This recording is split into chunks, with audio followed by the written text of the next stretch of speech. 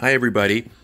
Today I'm going to show you how I make my special quiche, which I personally think is the best quiche in the world. But I'm a little biased. Um, so I'm going to show you all the things that I have here to make this. So right here I have approximately two crowns of broccoli cut up, fairly coarse. Here I have pretty close to two bunches of green onions cut up, one red pepper sliced, probably about 15 medium to large size white mushrooms sliced. Here I have about 300 grams of Black Forest ham, and I cut this up kind of cubed. Over here I have some shredded old cheddar, so you definitely want something that's old and a bit sharp. And 10 eggs, which I will add to uh, some milk to and, and whip up. And two pie shells. Now, unfortunately, my pie shells somehow got damaged, but uh, that should be okay once we get going here. So I'll show you the next step. So the next step in this process is you're going to take all of the green onions and the sliced ham or diced ham. You're going to put into a frying pan on a medium heat. And what you just want to do here is saute it and uh, just kind of get it a little hot and uh, you know a little bit brown, but not too much. So you know it takes maybe about eight minutes or so on a medium heat. So while you're making the uh, ham and onion mix, next thing you can do is get a pot with a little bit of water in it, put in your broccoli, put a lid on. We basically want to parboil this, so we don't want it to be fully cooked because it's going to cook once it's in the oven with the quiche. So right now my broccoli is cooking and my uh, ham and onion mixture is, is done, so I've just kind of set that off to the side. So I'm mixing up my eggs, and so I have, uh, for two pies, I have 10 eggs, about a cup of milk. Uh, I don't want too much milk in there because I want the eggs to set when they cook. Otherwise, if there's too much milk, it will, it will take a long time.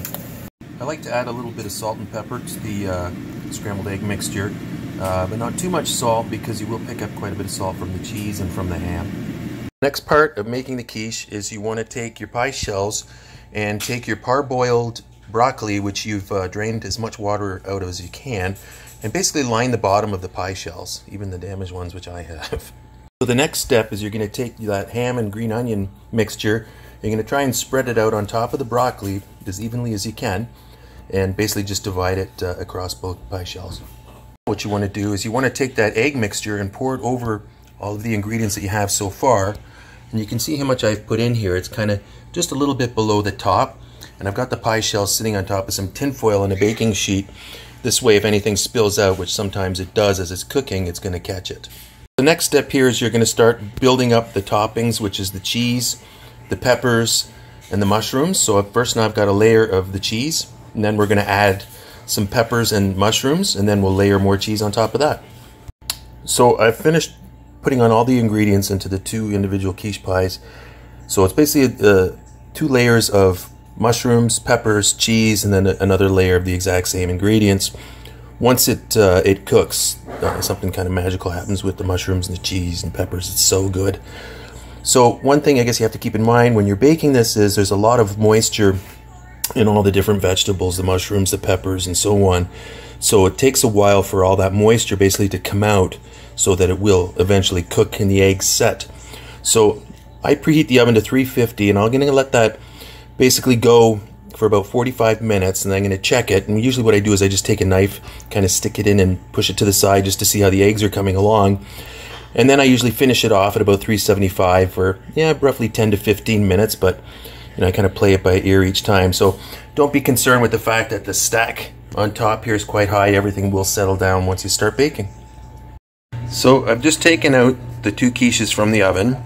So it was approximately about 45 minutes at 350 and pretty close to half an hour at uh, 375.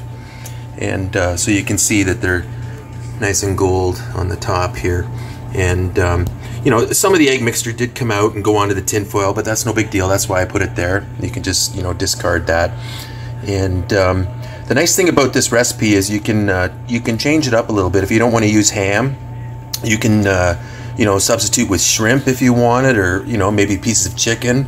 Same thing with the broccoli. If you don't want to use broccoli, you could use uh, asparagus or you know maybe some other uh, vegetable like maybe cauliflower or something like that. You can certainly change it up any way you wish, but I uh, hope you like it, and that's it.